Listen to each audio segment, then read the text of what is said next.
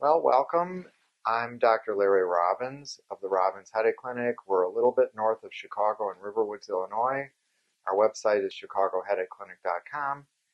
And we will be putting a series of lectures on uh, about difficult to treat headaches, about migraines, about various headache type topics.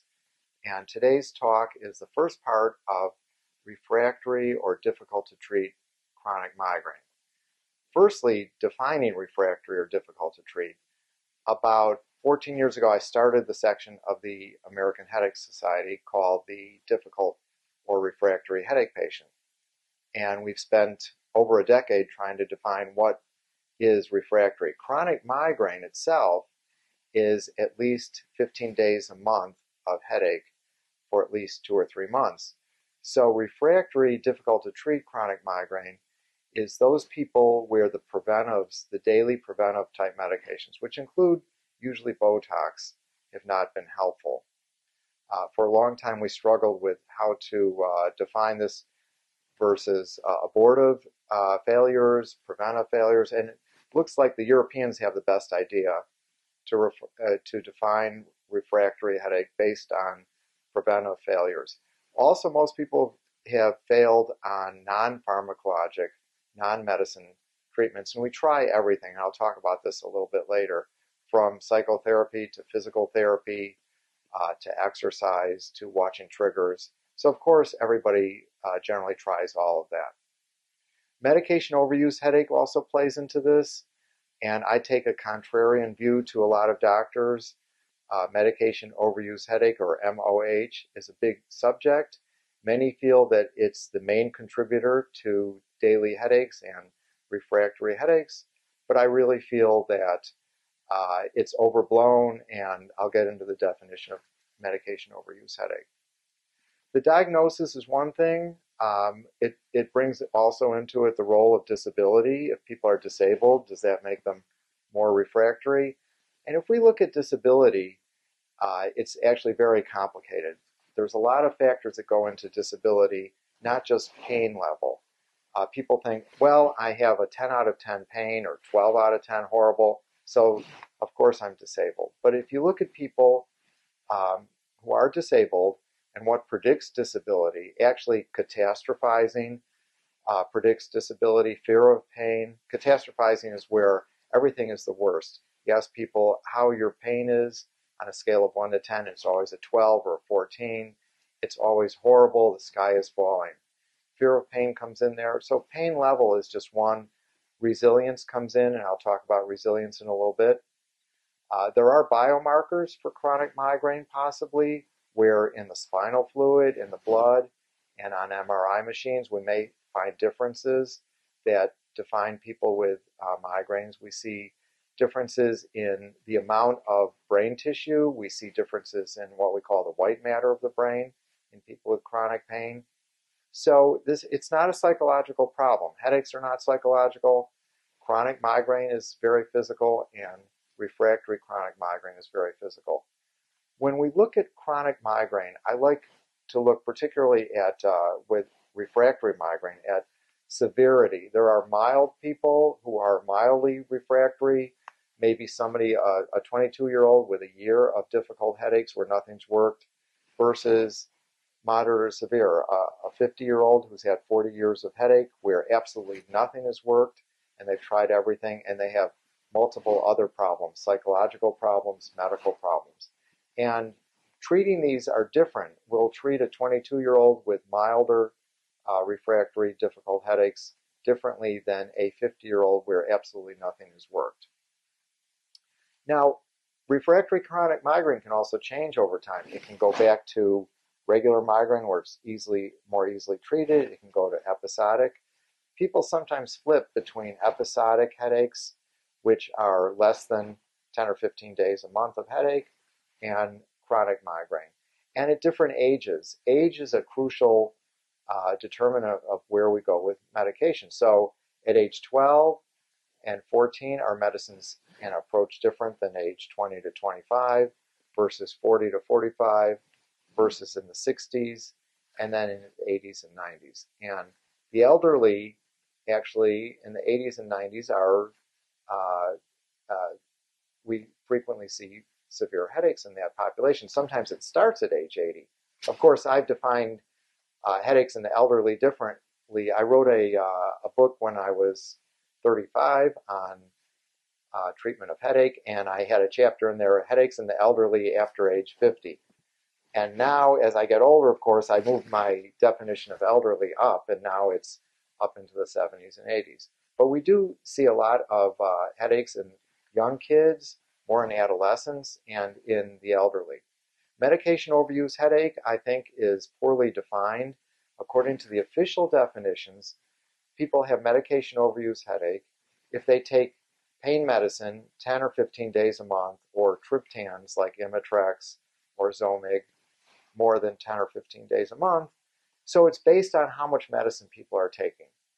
But there's no determination whether they're actually getting medication overuse headache, the headache from the overuse of the medicine.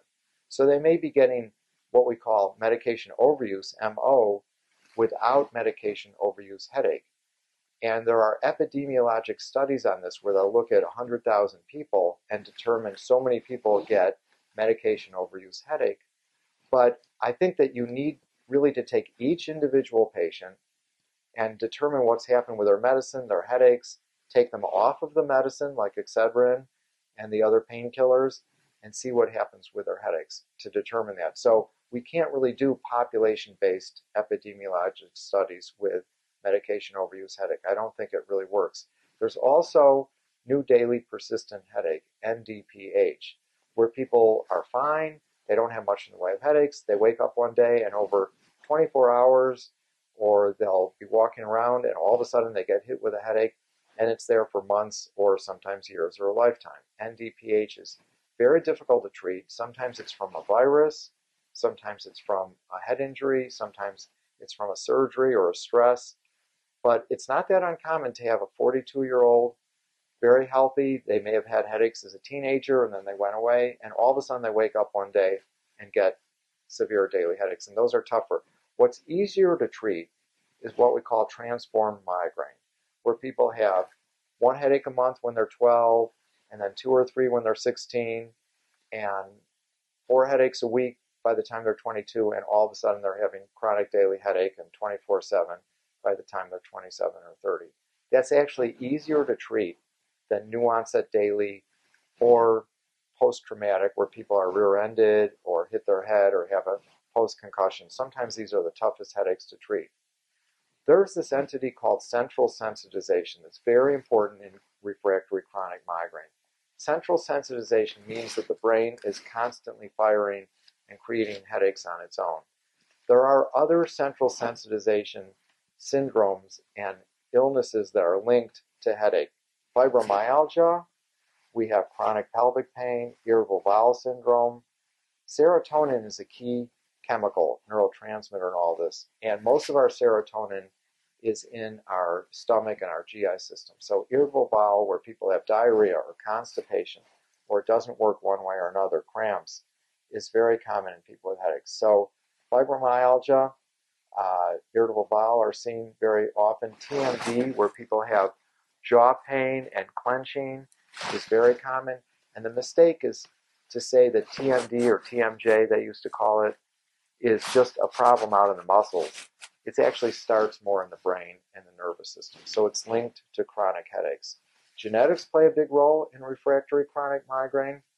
If both parents have headaches, one of the kids often has very severe headaches. So it's how much of the gene people get. Uh, everything is the genetic lottery. Our intelligence, our looks, our headaches, our stomach issues, our low back pain, very much is genetics. Uh, generally, most things are probably 70 or 80% genetic, uh, which is nature and nurture. So that's nature, and then nurture, the first 15 years of life, is 20 or 25% or so, depending on the, the, the condition. So that's true with anxiety and depression as well, too. And then as people go on with chronic pain, as I mentioned, they get structural problems in the brain, mostly in the white matter. We can do certain experimental scans such as a type of MRI, functional MRI, or DTI, and see how different areas of the brain are working or not working. Now, does medication overuse headache change the brain? If people take six Excedrin a day or they're on eight Fiorinal and some codeine every day, it may actually change the brain where people need that medicine all the time or that's the only medicine that helps, and that's a problem. Then there are psychiatric comorbidities, psychological comorbidities, we call it, or comorbidity means what else is going on with a person. So we have anxiety, we have depression. Do these long term change the brain and create more headaches or go along with headaches? Now, the scale that I use for refractory chronic migraine, and I've published on this, um, we've published a lot of articles out of our office, about 250 or so and uh, uh, four books. Uh, the latest is Advanced Headache Therapy, that's aimed at doctors, but many patients have read, read this book. I really write simply enough. I write so that patients can understand.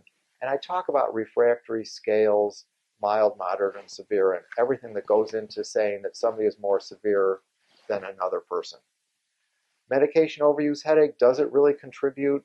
How much does it contribute to uh, refractory headaches? This is still debatable. I think it's important, but it tends to be overblown. What happens is people go into the doctor's office, the neurologist, they go to the big clinic, and whatever they come in on, they're told, this is why I have headaches, uh, or this is why you have headaches. You're taking too much Excedrin, you're taking too much painkiller, and you have to go off that. And people say, well, I had headaches way before I took this medicine. I don't think that's true. And the other thing is people are told to go off of their painkiller, go off of their triptan, their Imitrex every day. And the second half of the sentence, I call it, is not answered. Well, what do I take? What can I take when the preventives aren't working?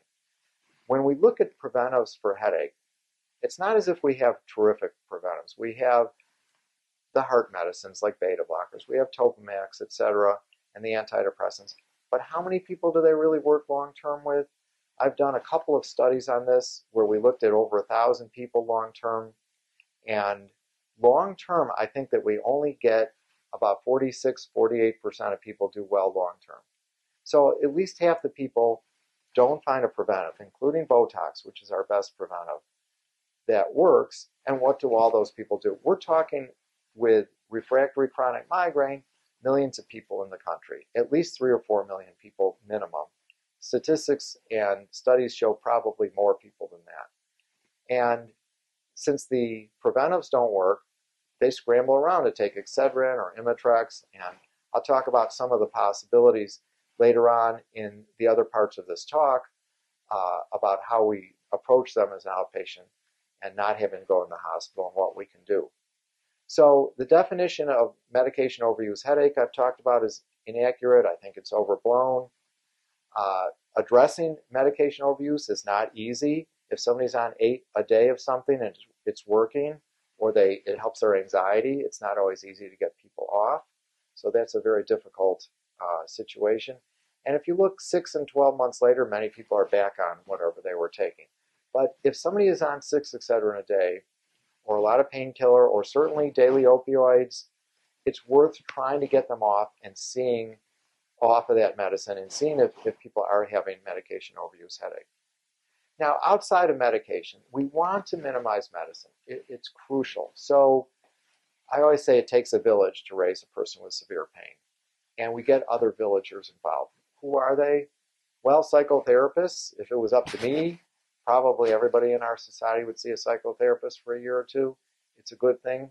But because of money, time, it used to be stigma oh no, I can't see a therapist. But now that's not so much. It's more money, insurance, time. People don't see a therapist, but it, can help with anxiety or depression.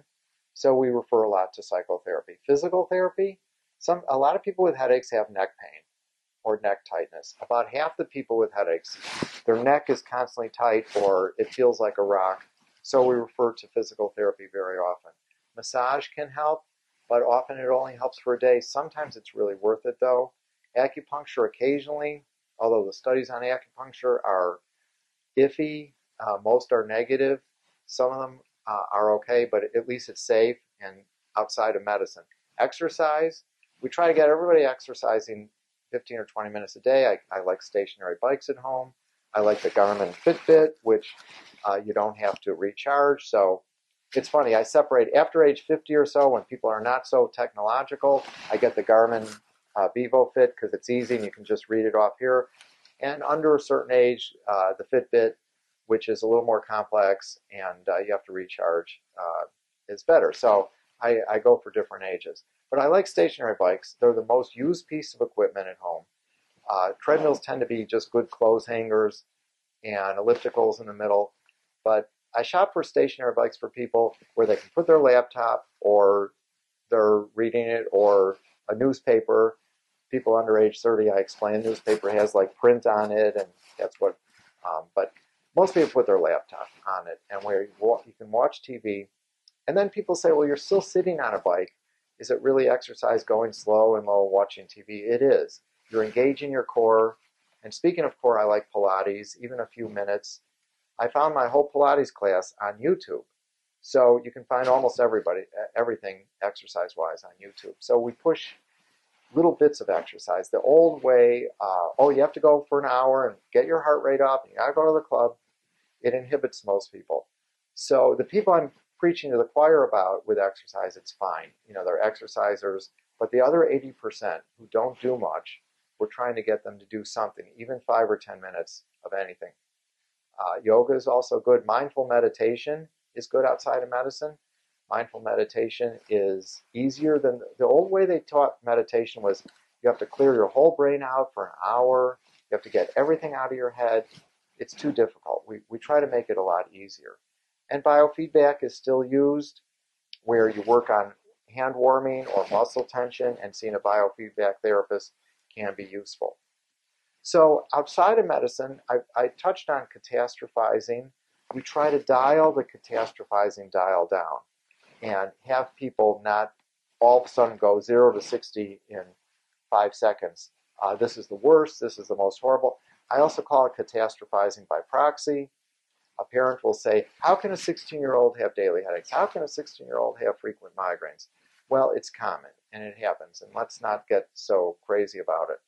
Resilience is an interesting construct, and with resilience, uh, there are genetic factors. You can look at the serotonin gene, uh, which you can't look at, but uh, under a microscope, and uh, and predict how resilient people are going to be in general based on the shape of the serotonin gene. So there's the long arm of the gene and the short arm. And if people get from their mom or their dad two long arms, that's pretty good. Two short arms is not good. So people may be fine if they don't have much abuse or stress as a kid, even if they have two short arms. But if they do, they'll tend to have major problems with either headaches and pain, psychiatric issues. If they have two long arms, they're more resistant to stress as a kid and they may do very well. So if you look at kids who have had moderate or severe abuse as a child, who do extremely well later on, almost always they have two long arms of the serotonin gene. Interestingly enough, they've done prospective studies on monkeys who have two long arms of the gene and give them stress growing up, and they tend to be uh, pretty good monkeys. If they have two short arms and the monkeys are raised without a mom and they're raised by the other adolescents, they tend to be what we call borderline personality monkeys, which they're hissing, they're biting, they're spitting, they're sitting in the corner, they're asocial. So resilience does have a genetic construct I'm talking about. Also, nurture, the first 12 years in modeling in life. So, a lot of factors go into resilience. But we see a lot of people who have mild or moderate headaches who are on disability, and other people who have severe daily 24 7 pain who work 70 hours and uh, work, run a law firm, for instance. So, I think we'll stop here and. Uh, So we've been talking in the first part of this refractory talk about all the non-medicine aspects and the psychological aspects and what goes into and defines refractory chronic headache. In the second part, we're going to talk about actual treatment, uh, five main ways that uh, we, we treat people as an outpatient. And later on, we'll have many other uh, talks and lectures and material on all aspects of headache. Thank you.